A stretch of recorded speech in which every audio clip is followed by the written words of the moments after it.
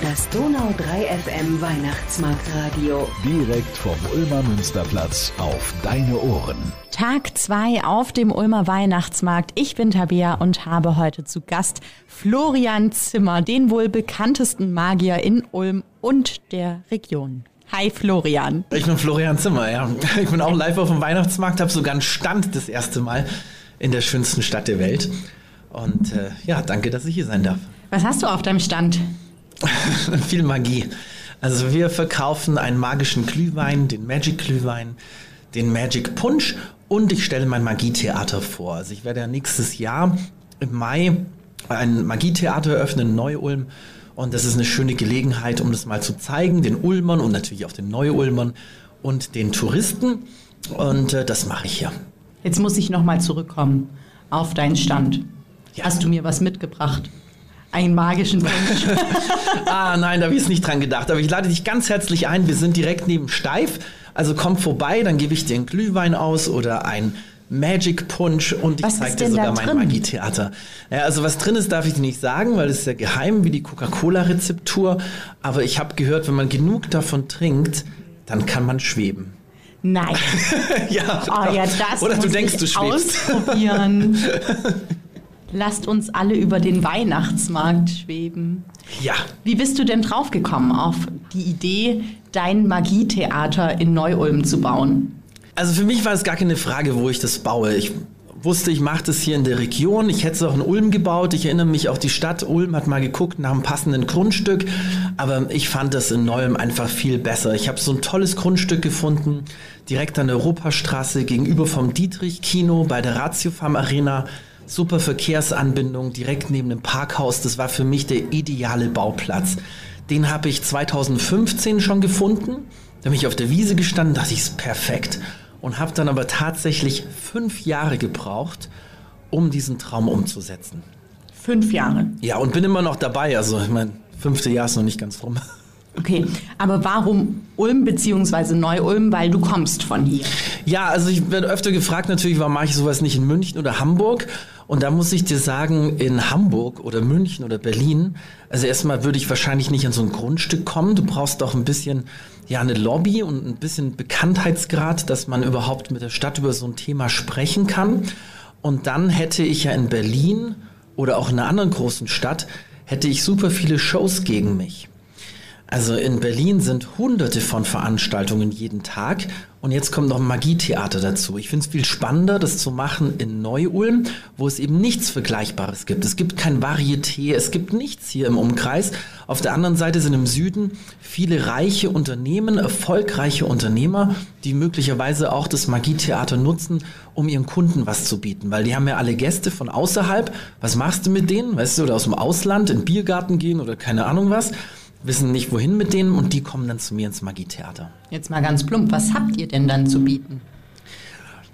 Ich kreiere die Show Ulm Glaublich. Das sind Illusionen, die man so noch nicht gesehen hat. Ich erfinde Illusionen, ich bin Content Creator. Das ist das, was ich sehr gut kann. Also ich habe in der Vergangenheit für andere Shows kreiert und jetzt kreiere ich eben diese Show, die einmalig sein wird. Und ich finde das Schönste, was ich jemals kreiert habe, ich habe da auch die Möglichkeit, mich richtig auszutoben, weil das Konzept von dem Theater ein ganz besonderes ist. Stell dir vor, ein intimes Setting, also wir haben nur 200 Zuschauer, bei uns ist die letzte Reihe ist näher dran als beim Fußball die erste. Du bist wirklich live dabei. Aber es gibt eine große Bühne, wo ich wirklich die großen Illusionen zeigen kann. Und eine große Illusion, wenn ich dir zum Beispiel für eine Arena-Show oder so baue, dann ist die immer zu klein, weil da 4000 Menschen sitzen. Aber in meinem Magietheater hast du von jedem Platz eine Sicht auf die Bühne, dass du es so miterleben kannst und dass du auch die großen Illusionen fast anfassen kannst. Das ist was ganz Besonderes und einmalig in der Welt. Ja, ich hatte ja jetzt auch ähm, die Ehre, auf dem Richtfest schon mit dabei sein zu können. Wahnsinn, warum halt es denn so? Ich weiß nicht. Ich auch nicht. Vielleicht irgendwas mit der Technik. Gut. Also ich war auf dem Richtfest. Ähm, es war ja jetzt, sage ich mal, noch nicht viel an Ausstattung da. Ne, es war Rohbau. Aber man hat mir zumindest erzählt, dass die Reihen ja auch so aufgebaut sind, also sehr steil von den Rängen nach oben gehen. Ne? Ja, also wir haben ansteigende Sitzreihen, das kennst du vom Kino, du hast von überall aus die perfekte Sicht. Also vielleicht ein bisschen übertrieben auch, aber ich habe tatsächlich mit einer Sichtachsenexpertin gearbeitet, die mich da beraten hat. Ich habe irgendwie fünf vor zwölf nochmal den Showroom nochmal 40 Zentimeter runtergesetzt, einfach um genau eben das zu erfüllen. Und ich denke, so ein Magietheater baut man nur einmal und ich möchte, dass natürlich jeder Zuschauer, egal was für ein Ticket er hat, erste oder letzte Reihe, dass er diese Show maximal genießen kann. Und jetzt weiß ich, für Illusionen braucht man einen speziellen Bau auch. Da hast du da jemanden, der dir sozusagen allein für dich baut? Also wenn es jetzt um die Herstellung der Illusionen geht, das funktioniert so, dass ich alle Funktionsmodelle selber baue. Also ein Funktionsmodell ist erstmal ein Proof of Concept, also ob das überhaupt so funktioniert. Eine Illusion kann ich nicht nur am Papier planen. Also ich muss irgendwann ein Modell bauen, das mache ich selber und dann gucke ich aber, mit welcher Firma oder welchem Handwerksbetrieb kann ich dann das in die Tat umsetzen. Und dadurch, dass ich ja das gesamte Genre der Magie abdecke, habe ich ja kleine bis große Illusionen. Es kann sein, dass du in der Show was siehst, was ich mit einem Freund in der Garage gebaut habe oder eben was eine Firma, die Prototypen herstellt, mit mir gemeinsam entwickelt hat. Also ich muss immer gucken, was ist der Effekt, den stelle ich mir vor, wie der aussieht in der Zukunft und wie erreiche ich den Effekt. Und das mache ich alles schon in der Vorproduktionsphase, wenn ich das Funktionsmodell baue. Dann weiß ich die Tricktechnik und dann weiß ich in der Regel auch schon ganz genau, diese Firma oder dieser Spezialist, der könnte mir da helfen. Jetzt ist es ganz schwierig, weil es ist jetzt sehr technisch, aber ich nehme an, es ist fast unmöglich, mir jetzt ein Beispiel zu geben, wo du mir ja dann vielleicht auch einen Trick verraten müsstest. Ja, also ich will natürlich keine Effekte spoilern, aber es ist schon so, dass die Zauberei in der heutigen Zeit oft Technologie ist. Also wir machen schon auch Effekte, wo im Hintergrund was passiert, wo du einfach nicht wahrnehmen kannst. Also es ist viel Technologie, aber manchmal sind die stärksten Illusionen die, wo gar keine Technik dabei ist oder gar keine sichtbare Technik, wo es einfach nur um Gedankenlesen geht oder um Fingerfertigkeit, wo der Trick erzeugt wird. Hast du da irgendwas dabei, theoretisch? ja klar, wir haben so kalte Hände hier auf dem Weihnachtsmarkt. Vielleicht zeige ich dir noch was. Ja, du, du liest meine Gedanken. Ja, ja, genau. Bin ich ja mal gespannt, ob du in diesen Kopf reinkommst. Wie jetzt? Das war leicht. Ist schon fertig. okay, also du, ich, du musst auf jeden Fall mal in meine Show kommen. Also es ist natürlich keine echte Magie und ich, ich will gar nicht wissen, was du gerade denkst. Aber in meiner Show ist es so, dass wenn du zu mir an Stand kommst, dann zeige ich dir tatsächlich auch einen Gedankenleseeffekt, was eingebettet ist in den Zaubertrick und äh, ja, so unmöglich, wie man es eben auf der Bühne darstellen kann. Und wir können das jetzt nicht hier machen, weil wir haben ja hier jetzt auch ein paar Leute draußen stehen. Achso, ja, die winken mir auch schon. genau. Ja, die sollen sich alle ein Ticket kaufen. Machen wir übrigens. Ne? Also am Stand 76, das erste Mal jetzt, dass es Gutscheine gibt für mein Magietheater. Also, Aber da steht dann schon die Eröffnung jetzt. Ja, äh, geplante Eröffnung ist am 27. Mai. Ich denke, dass das ähm, sehr realistisch ist. Also egal, was auch mit Covid passiert, weil im Sommer, denke ich, wird es funktionieren. Wir werden auf jeden Fall den gesamten Sommer durchspielen. Normalerweise schließen Theater über den Sommer. Es gibt eine klassische Sommerpause. Werde ich vielleicht auch irgendwann mal machen, wenn die Welt wieder normaler ist, als sie jetzt ist. Ja. Momentan würde ich einfach drauf losspielen, mache den ganzen Sommer durch. Bin Gott froh, dass ich eine Klimaanlage eingebaut habe und deswegen kannst du auch nächstes Jahr schon sehr viele Shows sogar im Sommer gucken. Ja, wie schön, da freue ich mich drauf. Aber ich würde jetzt gerne noch mal einen Zeitsprung zurück mit dir machen ja. auf die Anfänge. Ich habe auf deiner Website gelesen, dass es in der Schule begonnen hat mit einem Schlüsselmoment. Wo bist du denn auf die Schule gegangen? Also ja, ich war auf der Realschule in Wiebling. Da mhm. weiß ich, dass ich sehr viel geübt habe unter dem Tisch. Ich habe auch dann später als junger Mensch die Zauber AG geleitet und bin immer aufgetreten auf den Schulveranstaltungen, aber der Impuls war eigentlich viel früher. Als ich so zehn Jahre alt war, da habe ich einen Magier gesehen, der ist aufgetreten bei meiner Mama auf dem Geburtstag. Und es hat mich so fasziniert. Bin ich da gesessen mit offenem Mund. Das heißt, will ich auch machen, wie dieser Typ ja, da, die Flaschen herzaubern und die äh, Tücher verschwinden lassen. Das hat mich fasziniert.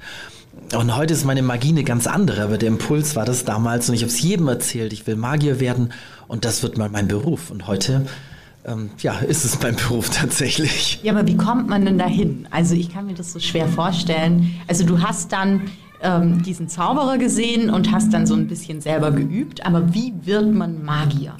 Für mich war es sehr schwierig. Also ich musste mir das wie im Puzzleverfahren alles so mit, mit kleinen Baby-Steps zusammenbauen, weil ich mir genau diese gleiche Frage natürlich gestellt habe äh, wie ich das mache. Und ich hatte überhaupt keine Ahnung. Meine Eltern sind keine Künstler. Ich komme aus einer, ganz, aus einer Familie. Mein Papa Versicherungskaufmann, meine Mama hat in der Praxis gearbeitet.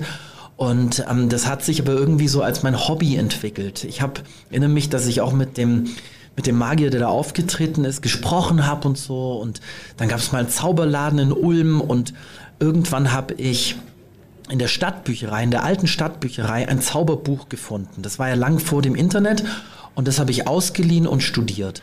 Und irgendwann natürlich andere Magier im Fernsehen gesehen und habe denen so nachgeeifert und habe einfach sehr viel ausprobiert, mir eigene Tricks ausgedacht und ähm, das über Jahre eben als Hobby betrieben. Und ähm, dann bin ich ja gelernter Bankkaufmann. Ich habe dann irgendwann, weil ich, also weil ich sehr gut war in der Zauberei, habe dann Wettbewerbe besucht und habe die gewonnen. Und dann habe ich 2005, als ich eigentlich noch fest angestellt war in der Bank, habe ich dann äh, die deutschen Meisterschaften gewonnen und die Europameisterschaft hinterher. Das alles mit Learning by Doing. Genau, also autodidaktisch und habe dann, aber war so erfolgreich, dass ich dann irgendwann gedacht habe, vielleicht könnte ich das ja beruflich machen.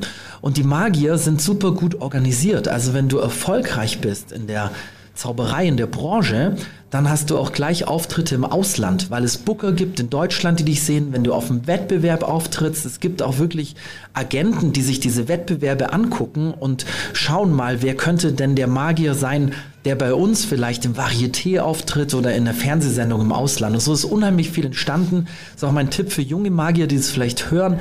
Du musst einfach so oft auftreten, wie es geht und auch nicht immer nur an die Gage denken. Also inzwischen, ich habe eine sehr hohe Gage, wenn man mich bucht. Aber früher, ich bin einfach nur so aufgetreten. Mich hat es nicht interessiert. Ich bin in Altersheim aufgetreten. Ich hatte plötzlich als junger Mensch, als 12-, 13-Jähriger, hatte ich äh, fünf Shows am Wochenende, weil ich irgendwie 50 Mark genommen habe für ja. eine Show. Und das war halt eine gute Lehrzeit für mich diese ganzen Fehler zu machen vor einem echten Publikum, weil jede Show vor Publikum ist mehr wert, als hundertmal in deinem Proberaum irgendwas auszuprobieren. Ja, weil du auch die Reaktionen hast. Genau, weil du die Reaktionen hast und weil es halt echt ist. Weißt du, du kannst nicht einfach die Musik stoppen und es nochmal machen. Und äh, das, was ja die Zauberei unterscheidet von, vom Theater zum Beispiel, ist, dass es eben das Trickgeheimnis gibt. Und das macht es so besonders, dass die Menschen rätseln. Wie macht er das? Das ist unglaublich, das ist unmöglich. Aber du musst halt als Magier diese Hürde auch jedes Mal nehmen. Weißt du, wie ein Comedian, der lustig sein muss, muss bei dem Magier ja auch der Effekt funktionieren.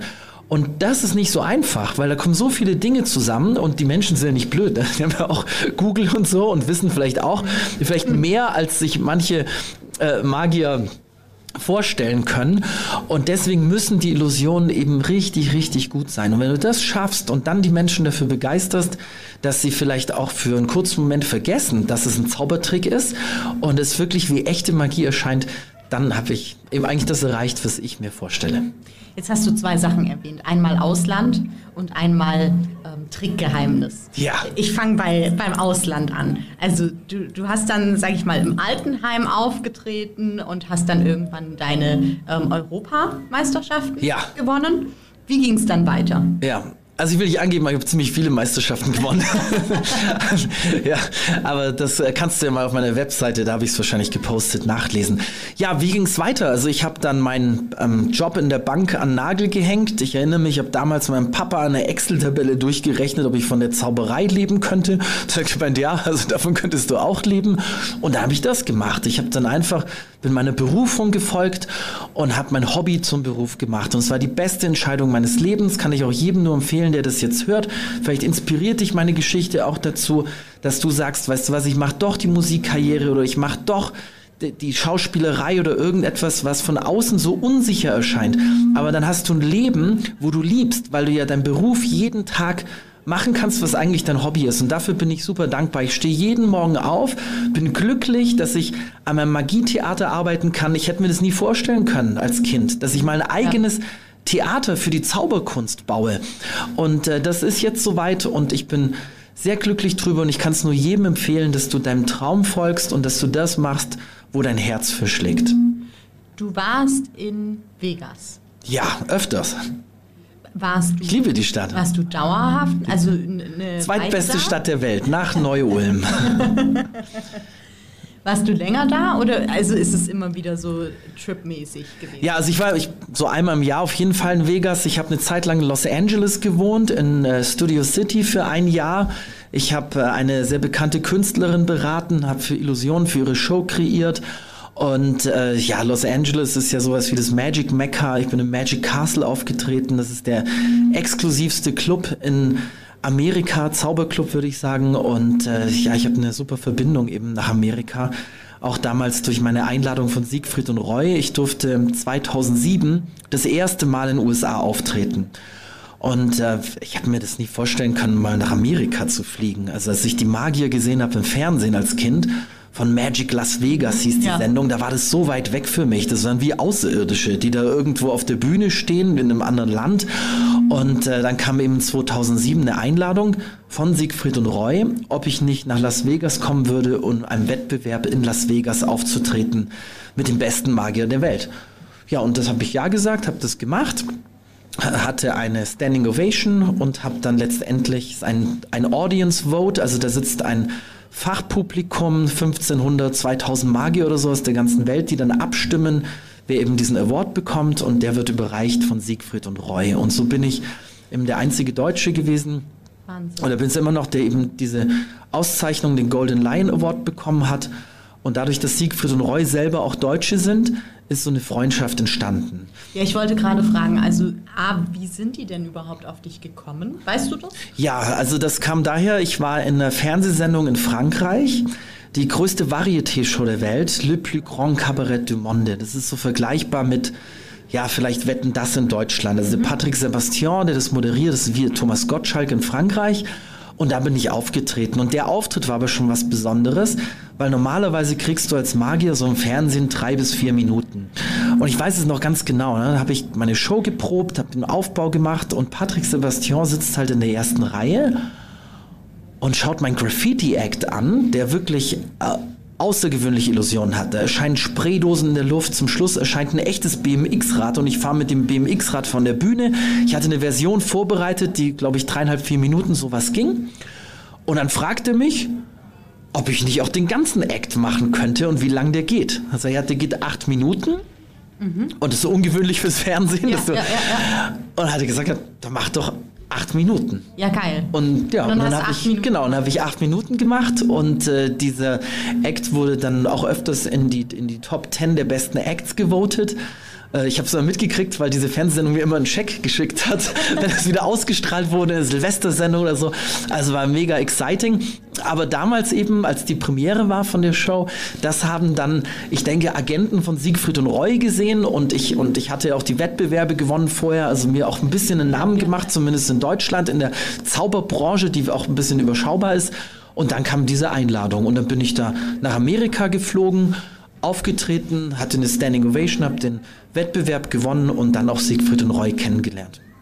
Und dann seid ihr miteinander auch in Kontakt geblieben. Ja, also ich erinnere mich noch, Siegfried hat gesagt, er ist so stolz, dass endlich mal ein Landsmann diesen Award ja. bekommt, weil sie ja den überreichen, aber eben äh, das Publikum, das Fachpublikum abstimmt. So sind wir in Kontakt geblieben. Siegfried und Roy habe ich immer informiert, auch die wussten vom Magietheater Bescheid. Wir haben uns regelmäßig getroffen und sind natürlich meine Vorbilder. Und wenn die was erzählt haben, dann habe ich ganz genau zugehört, weil ich von denen halt echt viel lernen konnte. Und umso trauriger ist es, dass sie nicht dabei sein können jetzt, wenn das Magietheater dann nächstes Jahr eröffnet, weil sie mich ganz sicher auch besucht hätten zur Premiere. Ja, das ist schade. Ja. Aber so ist es. Ja, ja also es ist mega schade, was ähm, ich noch sagen kann zu dem Thema Siegfried und Roy. Also es wird einen Kinofilm geben. Und äh, dieser Kinofilm wird produziert von der UFA, von äh, Nico Hoffmann, von dem bekannten Regisseur. Und Siegfried und Roy hatten mich also vor ihrem Tod eben gefragt, ob ich die Beratung machen würde für den Kinofilm. Und Siegfried hat noch vor seinem Tod eben das Skript dafür freigegeben und ich stehe im ganz engen Kontakt mit der UV und Nico Hoffmann, weil ich eben jetzt diesen Film beraten darf. Und ich ähm, ja, wünsche mir, dass da eben eine ganz tolle Erinnerung, ein Andenken für Siegfried und Roy draußen steht. Ja, damit auch so ein kleines Stückchen weiter, ne? Siegfried und Roy waren zu Lebzeiten schon Legenden und sie Ja. sind es natürlich auch jetzt noch, wenn sie ähm, äh, gestorben sind. Äh, was Siegfried und Roy erreicht haben, ist unglaublich. Also es sind zwei Typen aus Deutschland, die nach Amerika gereist sind und erst Las Vegas zu dem gemacht haben, was es heute ist. In Las Vegas sind, glaube ich, 25 Zaubershows. Aber die erste Zaubershow, die als Main Act wirklich erfolgreich war, das waren Siegfried und Roy. Davor war ein Magier, war ein Opening Act. Siegfried und Roy auch am Anfang, bis dann eben diese große Show kam und natürlich das Besondere mit den Tigern. Und äh, ja, deswegen bin ich traurig drüber natürlich, dass es ähm, dass ich diese Show äh, nie sehen werde live. Ich habe selber auch nur auf Video gesehen, weil der Unfall von Roy war 2003. Ich selber bin 2007 das erste Mal nach Amerika gereist. Aber ich kenne es natürlich vom Video und die beiden, dass ich sie persönlich kennenlernen durfte, war ein, ähm, ein super Geschenk in meinem Leben.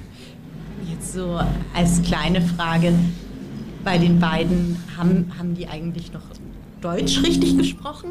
Ja, die haben das geliebt, Deutsch zu sprechen. Also ich hatte immer das Gefühl, wenn irgendjemand aus Deutschland da war, dass äh, endlich können sie mal Deutsch sprechen. Und äh, Siegfried und Roy haben ja auch immer in ihrer Show gefragt, äh, where are the Germans? Wo sind äh, die äh, Gäste aus Deutschland, die dann extra begrüßt wurden?